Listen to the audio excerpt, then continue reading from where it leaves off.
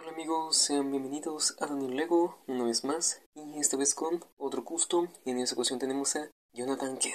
Así que comencemos.